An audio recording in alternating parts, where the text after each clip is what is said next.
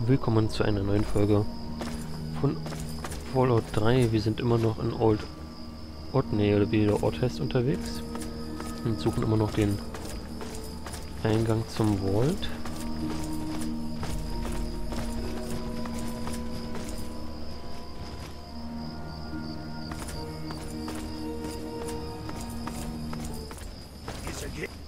Ja, wo ist es denn da? Okay. Noch einer? Aber wo?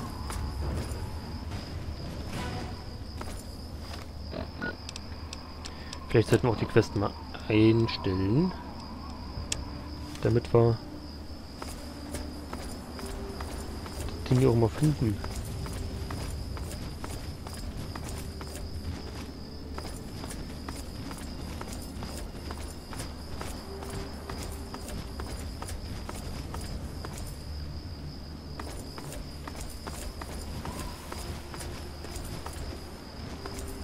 Okay, so groß ist dieser Ort jetzt gar nicht.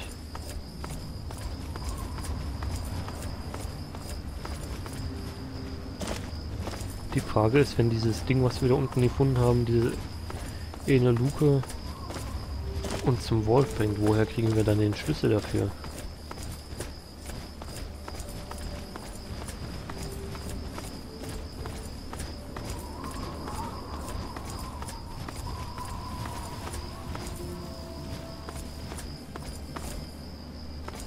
Hier sind wir lang gegangen, genau. Da sind wir ja reingefallen.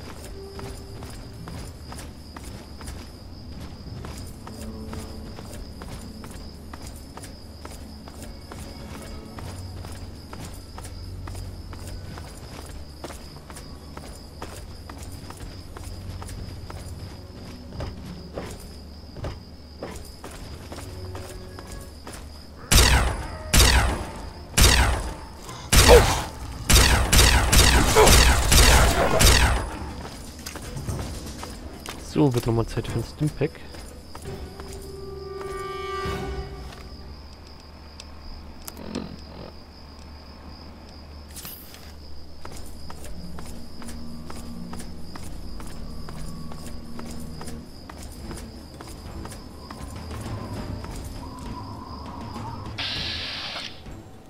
Obwohl, nö, ist gar nicht so weit weg.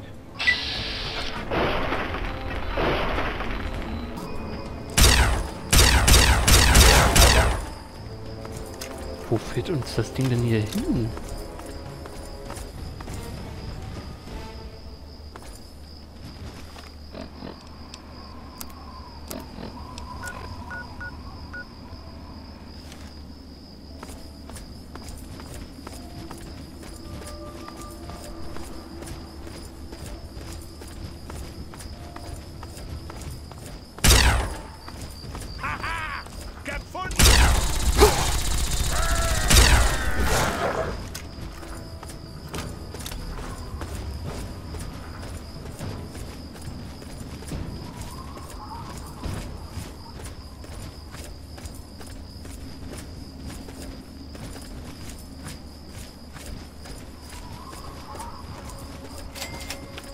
Okay, ich dachte, es wäre im Ort direkt.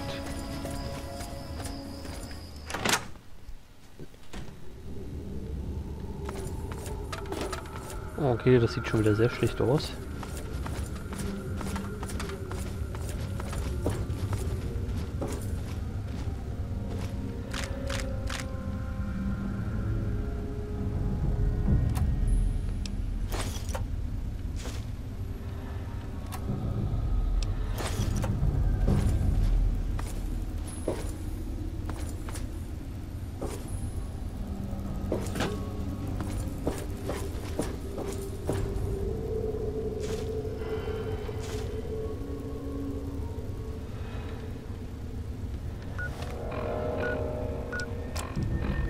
Bisher verläuft das Experiment genau wie geplant. Wir setzen die Ansässigen über das Lautsprechersystem weißem Rauschen mit extrem niedriger Frequenz in regelmäßigen Intervallen aus. Der Einsatz des schalldichten Aufnahmestudios und der Musiker war eine gute Idee. Ich ziehe den Hut vor dem Scharfsinn des Walltech Auswahlkomitees.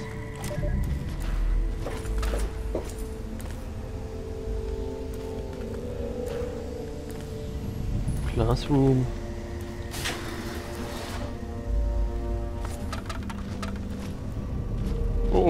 Gewehrfalle.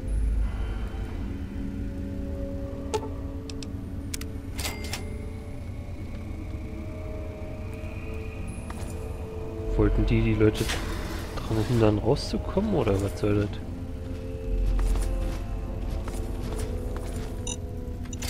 Uh.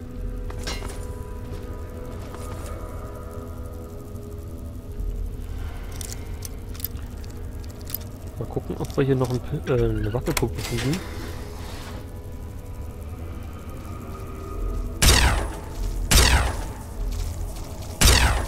Hallo?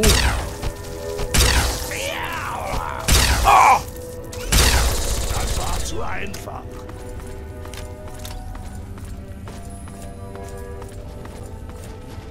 Soundtest.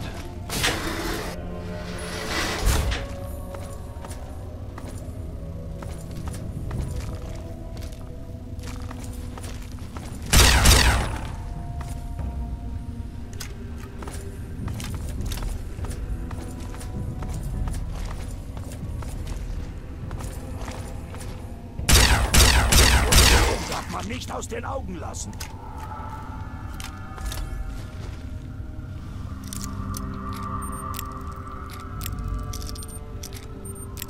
Ah, verdammt.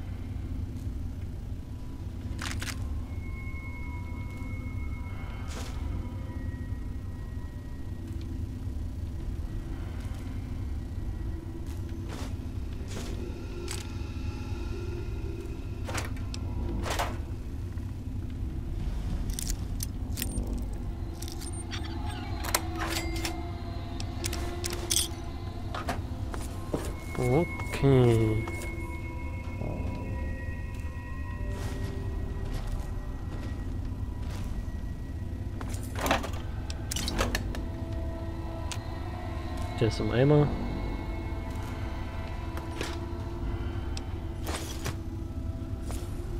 Schon überlastet.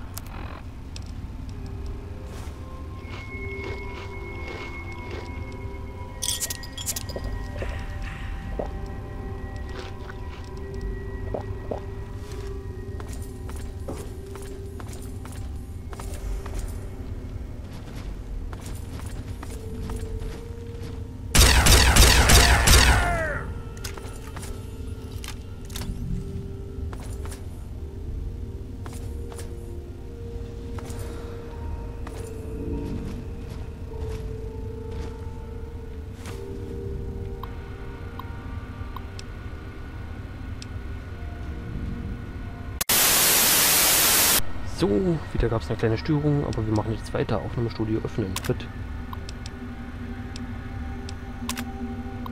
Hey Jungs, bin mir nicht sicher, ob ein offizielles Problemticket gerechtfertigt ist, aber ich habe da auf meiner Soundanlage eine seltsame Tonhöhenüberlagerung bemerkt. Das ist fast wie ein anderes Signal, das vielleicht aus dem Volt-Sprechlageranlagennetz oder den Kommunikationsgeräten sickert und sich über alle Aufzeichnungen legt. Das ist kaum bemerkbar, aber ich kann es definitiv auf meinem Oszilloskop sehen. Haben wir auf Ebene C irgendwelche Querverdrahtungsprobleme oder fehlerhafte Kal äh, Kalili Kabelisierung. Wow, verdammt.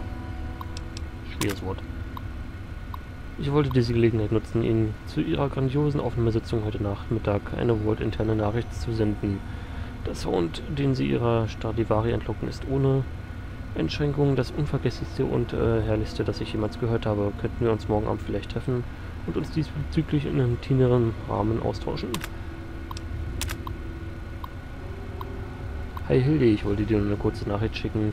Unsere gemeinsame Sitzung gestern war wunderbar. Ich bin froh, dass sich diese Studiotüren schließen lassen, sonst hätten sich deine steifen Musikkollegen vielleicht über unsere innige Zusammenarbeit pikiert. Vergiss heute Abend nicht, dein erlesenes Instrument, natürlich auch deine Violine mitzubringen. Ich habe da eine Idee, was wir mit dem Bogen anfangen können. Eine neue Methode, die sich schon immer mal ausprobieren wollte. Die Schweine. Das ist das Aufnahmestudio oder? Ja, okay.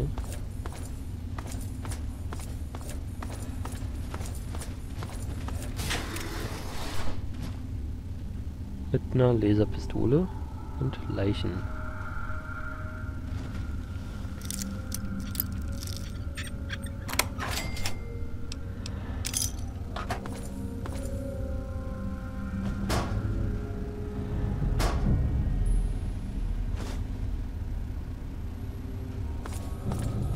Okay, wir haben das Musikinstrument, das ist schon mal sehr schön.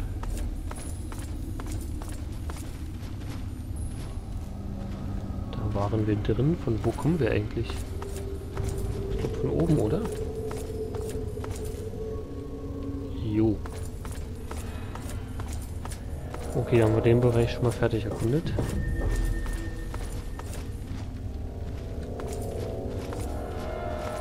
Classroom.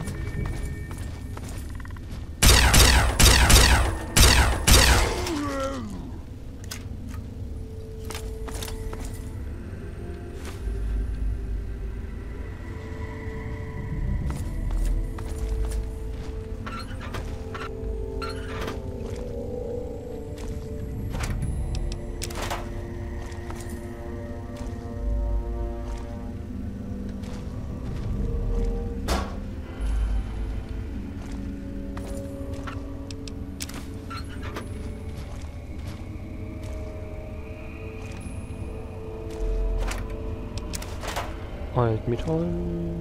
Altmetall.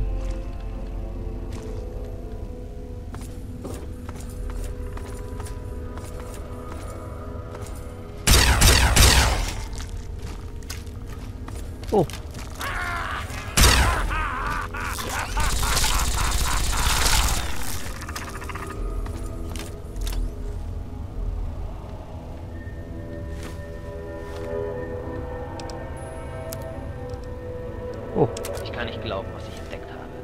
Vor seinem Tod hat mir ein Mitglied des Sicherheitsteams alles... Achtsamkeit Der Aufseher hat diese mörderische bedeutet Absicht ohne mein Wissen in der gesamten Wortbevölkerung implantiert.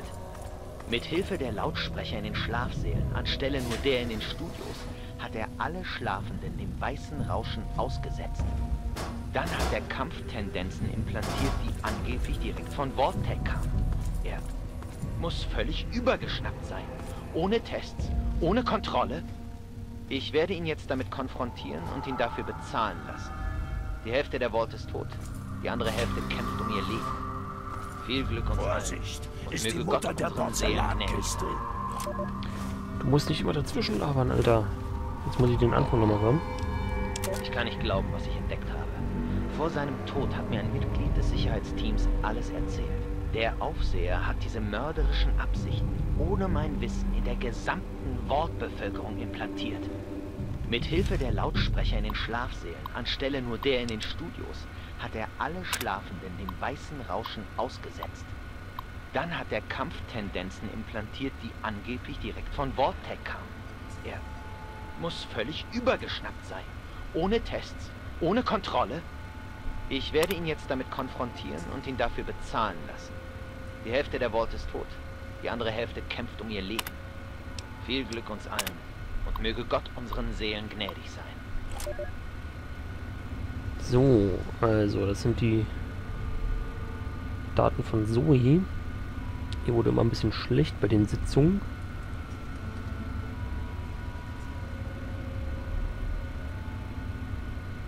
Sie hat sich auf jeden Fall gut gefühlt sonst. Hier geht es jetzt gar nicht gut. Ich kann mich nicht konzentrieren, bin zu Dr. Burners Büro, aber er sagt, es ist Stress und dass ich mich ausruhen soll. Ich glaube, ich war viel zu viel im Soundstudio, ich bin müde, kann mich kann nicht mehr tippen, zitter total. Hilfe, helft mir, ich verliere meinen Verstand, kann sie nicht stoppen. Okay, durch das Weiß, durch das Rauschen sind die bekloppt geworden, oder was?